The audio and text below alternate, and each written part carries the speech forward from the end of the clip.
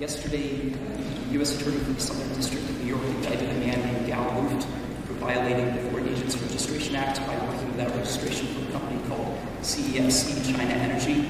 Uh, the president's son and brother worked for the same firm without registration, and uh, the president was invoked in that infamous shakedown text message receiving the transfer of $5 million to the Biden family.